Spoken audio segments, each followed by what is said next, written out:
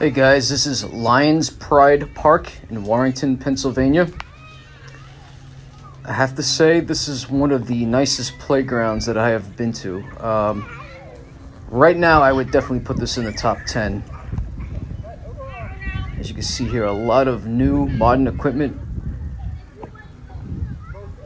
Have tennis courts in the back here, a couple picnic spots.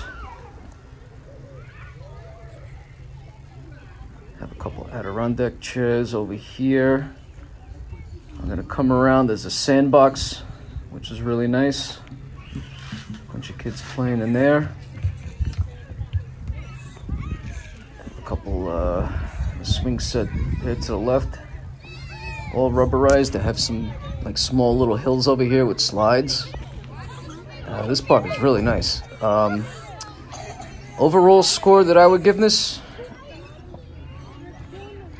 I would give this a 9.1. This is definitely one of the nicest playgrounds that I have been to. Top 10.